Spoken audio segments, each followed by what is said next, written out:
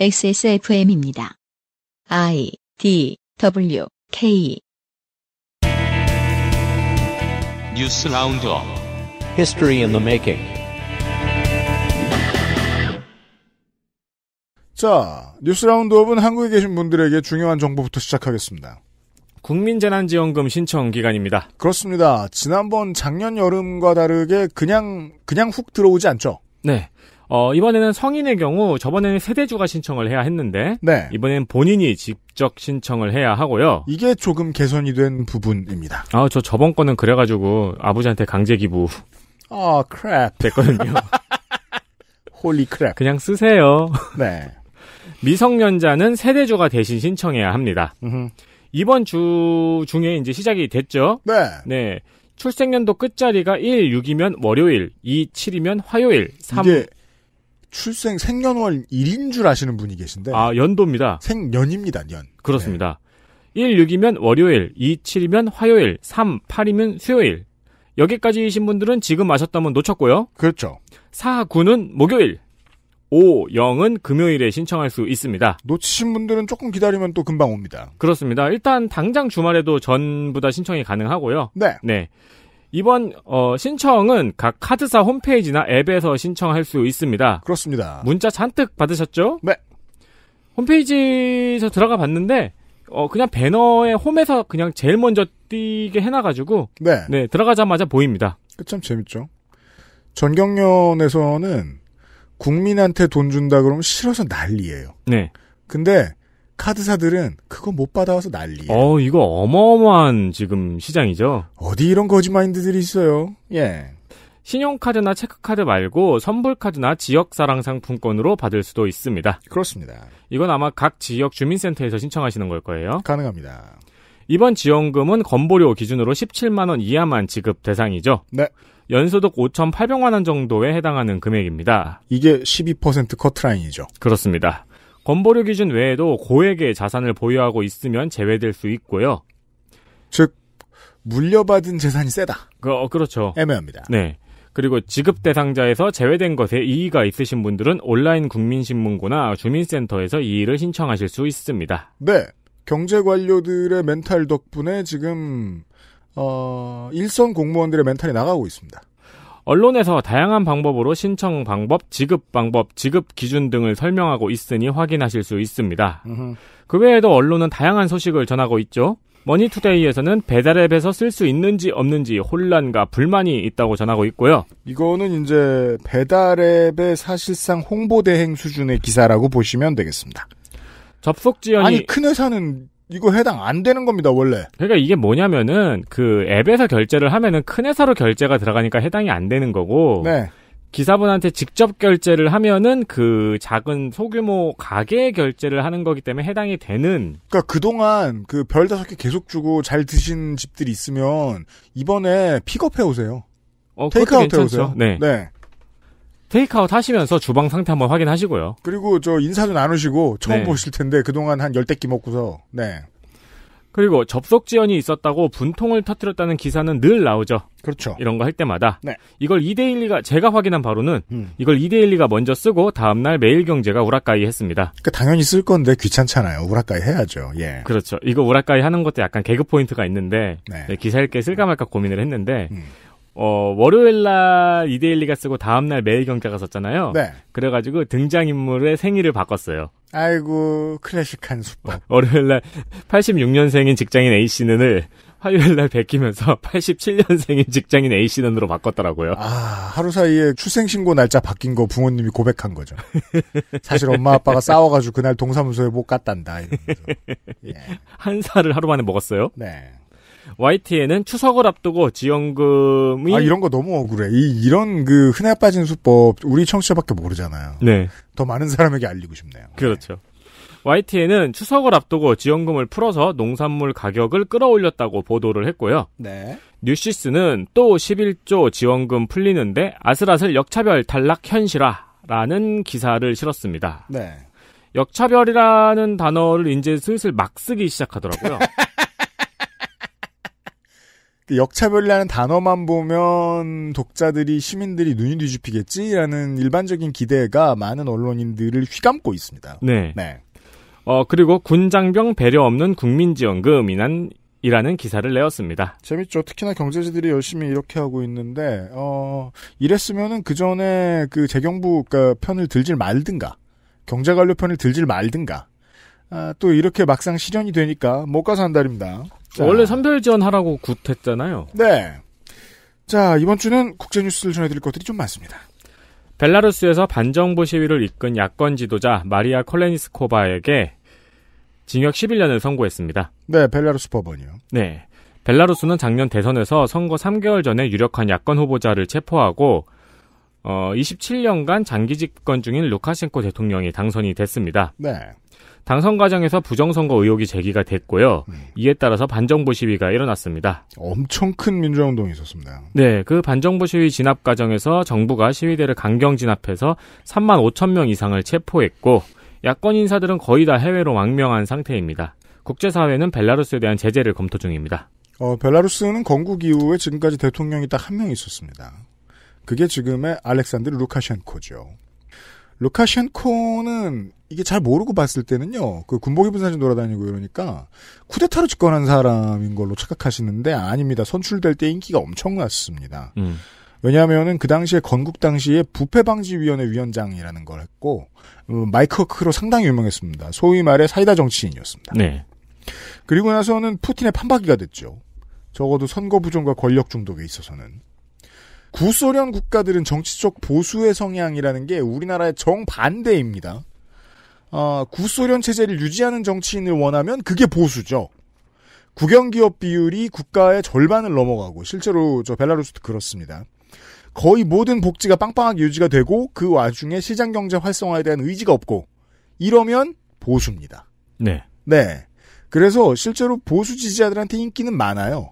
문제는 계속해서 75% 80% 넘는 득표를 하고 있다는 건데 그건 말이 안 되거든요. 그렇죠. 네.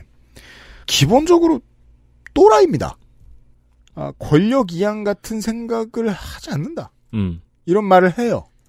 그리고 그 대선 선거 3개월 전에 유력한 야권 후보자가 체포되었다는 사실은 네.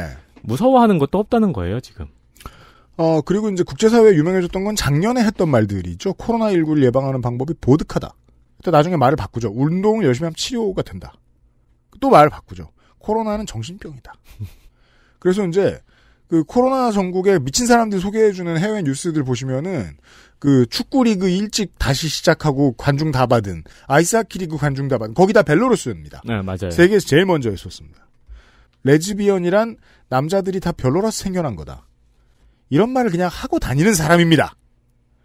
아, 10년대 중반에 러시아하고 사이가 잠깐 틀어졌던 적이 있습니다. 근데 그때를 빼면 기본적으로 이 사람은 러시아와의 통합을 주장하는 친러 정치인입니다. 따라서 소방 세계에 너무 좋은 먹잇감이죠. 러시아의 발목을 거는 걸 거는데 제재하기 이렇게 좋은 나라가 없, 없는 겁니다. 네. EU와 미국의 입장에서는.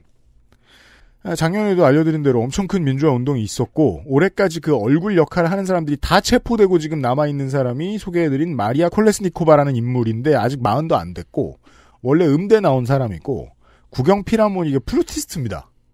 어쩌다 이렇게 된 거예요. 네. 예. 작년부터 현지 언론들 번역하는 곳들 뒤져보면 한국 검찰이 하는 거랑 비슷한 거 합니다. 이 사람의 사소한 잘못을 터는 기사거리를 꾸준히 발굴하는 일을 하고 있어요. 무서워하는 거죠. 아, 향후에 한동안 러시아와 EU 그리고 미국의 대결의 장이 될 가능성이 높아서 미리 좀 알려드립니다. 국제뉴스가 많아요?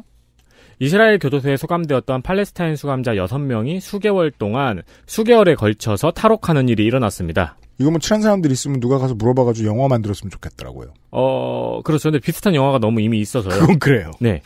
간방 화장실에서 교도소 밖까지 수개월 동안 땅굴을 파서 탈옥했다고 합니다. 네. 그러니까 쇼싱크 탈출처럼 탈옥을 한 거예요. 그렇습니다.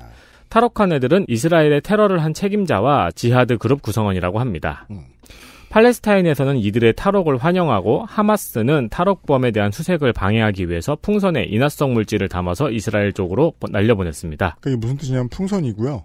터뜨리면 빵 하고 불이 살짝 확 합니다. 저희 방송에서도 한번 전해드린 적이 있습니다. 네, 그냥 그리고 연기가 조금 납니다. 옥상에 동그란 자국 남는. 네. 네. 어, 그러자 이스라엘은 이에 대한 보복으로 가자 지구에 대한 폭격을 재개했습니다. 그쪽이 쓴 건 무기입니다. RPG입니다. 그 아니 이런 일은요 기본적으로 이스라엘에 법무부가 있다면 법무부 잘못이잖아요. 한국에서 누가 이런 식으로 탈옥을 했다고 생각해 보자고요. 숟가락으로 탈옥한 수감자가 나왔습니다. 수감자를 잡으면 되죠. 그리고 교도소장이랑 간부들이 문책을 당하면 되죠. 왜 그 결과가 팔레스타인에 대한 폭격이냐라는 생각을 해야 된다는 거죠. 그 폭격 맞을 만한 짓을 뭐 했느냐 하는 건 아까 소개해드린 대로 팡 터지는 풍선을 날려보낸 거. 네. 입니다. 그1 받고 100을 돌려주는 일을 또 계속하고 있습니다. 사실 이건 1도 아니죠. 0.5는 수감자들 몫이니까. 0.5 받고 이스라엘은 늘 그렇듯 100을 돌려주고 있다. 다음 보시죠. 미얀마 민주진영에서 쿠데타를 일으킨 군부 정권에게 전쟁을 선포했습니다. 네. 민주 이게, 이게 이해가 잘 안 되는 분들이 계실 텐데 미얀마 민주정부가 있습니다. 네. 뭐랄까요. 망명정부 같은 거죠. 물론 망명 안 갔습니다. 네, 망명 정부의 형태이고 대통령 대행이 지금 있지요. 민주진영 임시정부인 국민통합정부는 7일 SNS를 통해서 군정을 상대로 한 저항전쟁을 하겠다고 밝혔습니다. 음. 그리고 모든 국민에게 봉기를 요구, 소수의 민족 무장 조직들도 가능한 모든 방식으로 쿠데타 세력을 공격해야 한다고 했습니다. 네. 한국을 제외하면 참 드물어요. 현재 미얀마에 지금 이 전쟁을 선포한 쿠데타 정부와의 전쟁을 선포한 곳이 국민통합정부라고요. 국민통합정부 측과 공식적으로 소통을 하고 있는 국가가 금- 드뭅니다. 그만큼 뒷짐들 많이 지고 있다는 얘기고 그 사이에 이 정도까지 왔습니다. 이 장기화될 거라고 생각했는데 저는 각국 정부가 그래도 이 정도까지 소극적일 줄은 몰랐습니다. 어, 한국은 아무래도 우리 정부에 포지티브 피드백을 많이 넣어준 국민들 영향도 좀 있다고 생각합니다. 우리 하- 나라가 한국이 지금 공식적으로 상대하고 있는 미얀마의 정부는 이 국민통합 정부입니다. 모르실까 봐서요. 김재순 씨 산재 사망 사고에 대한 재판에서 안전관리를 소홀히 한 혐의로 항소심에서 징역 8개월을 선고받은 박상정 조선노조의 대표이사가 상고를 포기했다고 알려졌습니다. 이게 우리가 아마 뉴스에서 다뤘는지 아니면 국감 때 다뤘는지 그랬을 겁니다. 네. 네. 김재순 씨는 작년 5월 22일 재활용업체 조선우드에서 근무하다가 파쇄기에 몸이 끼는 사고를 당해 사망했습니다. 현장에는 파쇄 설비와 관련한 안전사고 예방시설이 없었고 이 때문에 박상종 대표이사가 재판으로 넘겨졌습니다. 그리고 1심에서 징역 1년, 항소심에서 징역 8개월이 선고되었습니다. 대표이사가 집행유예 없이 실형을 받았다는 점에서 새로운 판례가 됩니다. 네. 그리고 이런 일들의 판결문을 소개해드리죠. 그러면 전 방송 분량 엄청 뽑아낼 자신이 있습니다. 토 나옵니다. 피고인이 반성을 한다 이런 말 많이 써 있고 음, 감형의 이유로 네. 그리고 제일 웃긴 건 산재보험을 가입했기 때문에 감형을 한다고 써놔요. 그건 의무잖아요. 죄를 줄여주는 보험이 있으면 안 되지 이 새끼들아. 그리고 그리고 사장이 산재보험을 드는 건 의무잖아요. 건보료 내면 암 안 걸립니까? 그 이런 류의 해석을 법률 용어로 제가 알기로는 부작위범이라고 합니다. 부작위범. 무슨 짓을 해서 죽인 게 아니라 뭘 안 해서 죽게 한 범죄자라는 뜻인데 부작위범으로 보면 형량이 확 깎여요. 음. 근데 이건 말장난이라고 생각하는 게 이런 경우에는 뭘 안 한 게 곧 가장 직접적인 잘못이잖아요. 네. 뭘 안 했기 때문에 사람이 죽은 거잖아요. 그 안전 점검을 법에 나온 대로 안 하고 휴식권 보장을 안 하고 교대 근무 인원도 안 채우면 고의로 사망할 확률을 높였다고 봐- 보는 게 맞잖아요. 네. 예. 아, 제가 요즘 언론에 대해서 뭐라고 비판합니까? 백신을 안 맞고 방역을 따르지 않아서 사람들이 더 많이 죽도록 유도하는 기사를 쓰고 있다고 제가 말씀드린 적이 있죠. 이건 실제로 중죄라고 생각합니다. 한국은 너무 죄의 무거움을 해석하는 방식이 이해가 안 될 때가 많습니다. 이 지금 집유를 안 받고 8개월이라도 형을 실형을 사는 건 전 처음 본 것 같습니다. 다음번에도 참고가 많이 됐으면 좋겠습니다. 다음 보시죠. 지난 3일 중국의 방송 규제 기구인 광천총국에서 예쁜 남자 아이돌들을 퇴출시킨다는 보도가 국내에서 많이 나왔습니다. 여기에 낚인 분들 많았을 거예요. 네, 커뮤니티에서도 많이 돌아다녔고요. 네. 어, 그런데 이것은 양파오라는 단어를 과대 해석한 오보라는 지적이 나왔습니다. 음. 중국 광천 총국의 발표 내용 중에서 양파오 같은 기형적인 미적 감각은 단호히 차단한다는 문장이 있거든요. 냥파오란 무엇인가? 여러분들이 영화에서 보신 적이 있습니다. 네, 이 양파오란 경극처럼 남성이 여성처럼 화장을 하거나 여성처럼 행동하는 것을 의미하는 단어라고 합니다. 네. 문화운동가인 손희상 작가는 발표에서 말하는 분장은 괴상한 분장을 금지하고 경극도 여기에 포함한다고 설명을 했습니다. 네. 남성 아이돌의 화장 자체를 금지하는 것은 아니라고 전했습니다. 하지만 이미 한국 내에서는 왜곡된 채로 다 퍼졌죠. 그렇습니다. 이게 다 나쁜데 뭐가 잘 나쁘냐면 어 중국에 이제 대놓고 무식한 언론들 있잖아요. 나랏돈도 받는 네. 황구백구 같은 거기에서 황구시보 같은 데에서 이런 식으로 한국에 대해 왜곡을 했다. 그랬을 때 떳떳하게 받아칠 수가 없게 됩니다. 음, 음. 자꾸 이렇게 바보 같은 왜곡을 하면. 네.